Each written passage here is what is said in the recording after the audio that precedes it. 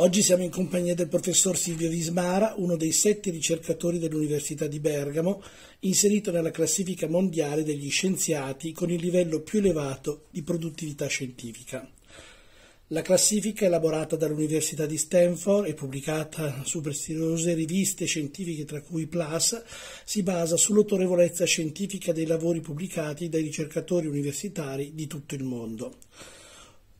Il professor Vismara, che attualmente insegna finanza aziendale all'Università di Bergamo, fa parte di quel 2% dei migliori ricercatori al mondo. Professore, qual è il suo ambito di ricerca?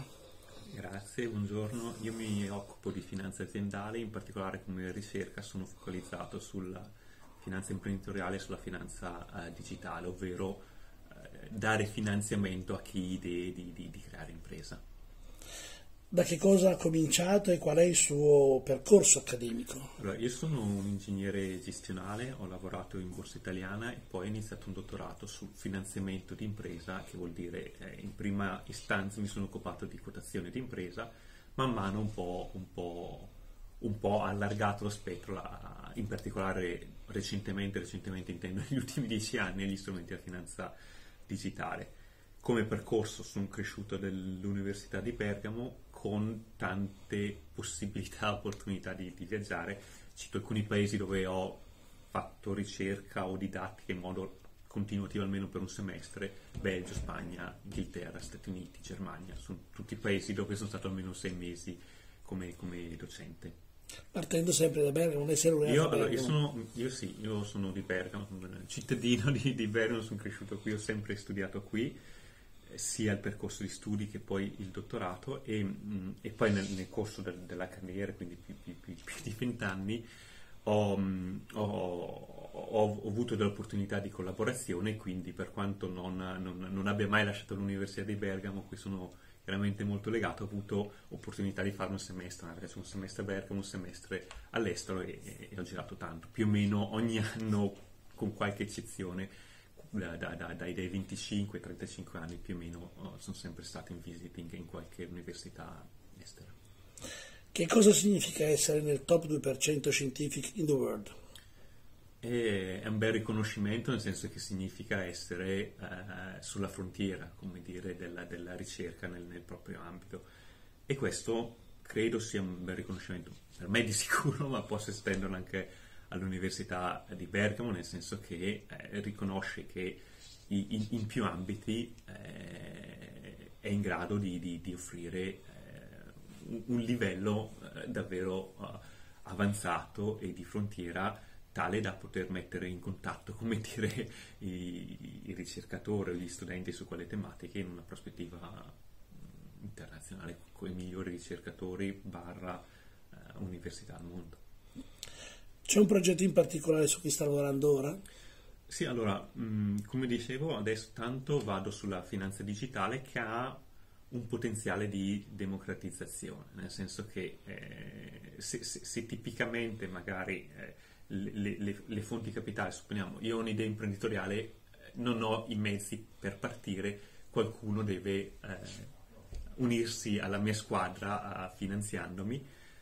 la finanza digitale permette che la platea di possibili investitori sia più eterogenea e se la platea di investitori è più eterogenea, eh, anche la platea di possibili imprenditori o persone che portano avanti la propria eh, idea innovativa sia diversificata. È un concetto di omofilia, nel senso che banalmente categorie tipicamente sottorappresentate che possono essere una questione di genere, di etnia, ma anche di età, è, è, è ampio il discorso. Se tra uh, i possibili finanziatori c'è per esempio una sovrappresentazione di eh, maschi bianchi, anche lato imprenditoriale questo può essere un effetto. Se invece tra gli investitori c'è una maggiore eh, diversità, eterogeneità, anche sul lato dei progetti finanziati ci si aspetta che, che questo si, si, si faccia sentire la finanza digitale di per sé disintermedia tante cose, decentralizza e quindi sta aumentando. Paradossalmente, come dire, dieci anni fa, se noi adesso incontravamo un ragazzo che aveva una bella idea, volevamo finanziarlo, c'erano alcuni passaggi da fare. Adesso con la finanza digitale è molto più facile. Se io e lei vogliamo finanziare un'idea che ci piace di, di un gruppo di ragazzi che, che, che, che, secondo noi sono promettenti, oggi pomeriggio lo possiamo fare e non siamo vincolati da, da tante cose, anche eh, geograficamente, quindi anche chi magari è in una eh, località che è meno interconnessa, come dire, con, con mm, i canali di finanziamento tradizionali, eh, ha più opportunità e questo è il tema su cui sto ragionando più, più, più, in modo più, forte ultimamente. Quali sono le difficoltà maggiori che si incontrano nel fare ricerca e come si superano? Allora, le difficoltà possono essere di, di, di, vario tipo, da un punto di vista di, eh, metodologico, insomma, per arrivare a certi livelli bisogna essere completi, vuol dire avere delle idee belle, ma avere anche gli strumenti per analizzarle in un certo modo, quindi dimostrare che l'idea che si è avuto è, è valida e sostanziata nel mio ambito da, dai dati, dai fatti, dalle misure. Questo vuol dire eh, un investimento anche da un punto di vista proprio metodologico, quindi gli strumenti matematici o di vario tipo che possono essere utili. Come si, si, si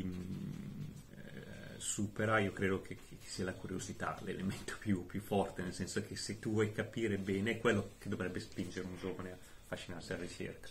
c'è una questione man mano la studi paradossalmente minore certezze hai, nel senso che capisci che in realtà quello che ti sembrava un percorso semplice, in realtà ci sono dei motivi per cui così semplice non è. Però se hai una curiosità nel, nel capire il mondo mm, è, è, è, lo stimolo per superare eventuali difficoltà. Che consiglio si sentirebbe di dare a un giovane o a una giovane ricercatore o ricercatrice? È connesso a questo, di essere curiosi, nel senso che eh, se c'è una caratteristica di un ricercatore, secondo me è, è, quello. Io ho avuto un percorso, credo, di successo in termini di ricerca, cambiando anche la prospettiva su, su alcuni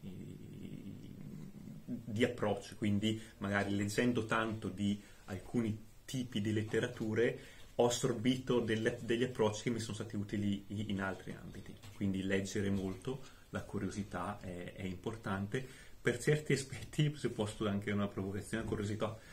un po' il darsi da pagare alla mediocrità, nel senso che quando tu leggi tanto di varie cose, magari non eccelli in nessuna, però ti dà chiavi di lettura. E se posso citare Wittgenstein, i confini del mio linguaggio sono i confini del mio mondo e più linguaggi mi appassionano e mi incuriosiscono, più chiavi di lettura ho e più porte riesco a aprire. Eh, la ricerca in questo è fenomenale nel dare sfogo a